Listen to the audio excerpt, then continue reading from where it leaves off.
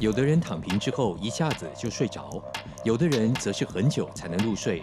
请问躺平多久之后入睡，表示一个人身体最健康呢？A. 五到八分钟，B. 十五到二十分钟，C. 三十到四十五分钟。计时开始。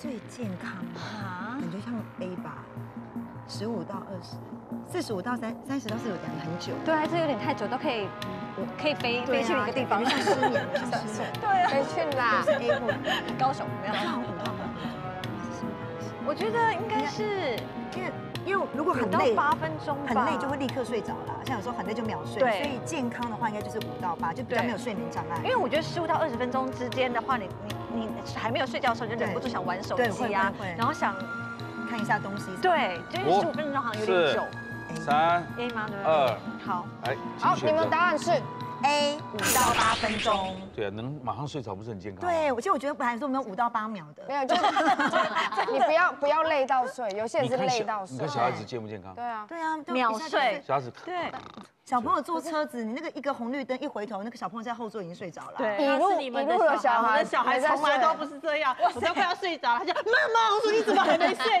四十分钟了，真的啊？再讲个故真的事。，我女儿超可怕的，都不睡觉。那你觉得呢？你觉得正常可是他是五到八分钟，他说他每每天都这样啊。是因为他运动啊，他有骑脚踏车啊。对啊，然后他就说会不会是因为太累，所以才会变成这样，这样不健康？我说可是我每天呢，就是身体太累、太消耗了，很需要睡眠。问题会出出这种现象，并不代表越快越好嘛，嗯，是不是？如果这样五到八、十到十到有选择性的嘛。我觉得五到八是一个时间，因为真的有时候累到不行，真的是五秒就睡着了，对啊就是一下躺在床就就就昏睡，回到饭店就立刻对灯还亮就睡。可是我觉得五到八分钟你刚刚讲的问题本来就是累要睡啊，不然怎么样？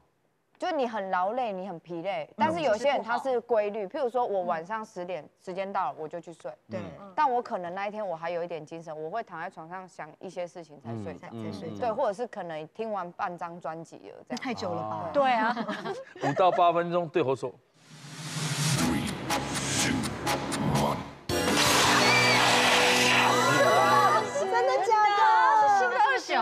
躺平后进入熟睡前会有十五分钟左右的迷迷糊糊浅睡期，许多民众认为躺在床上不到五分钟就能睡着，代表一个人很好入睡，身体也很健康。这种想法其实是错的喽。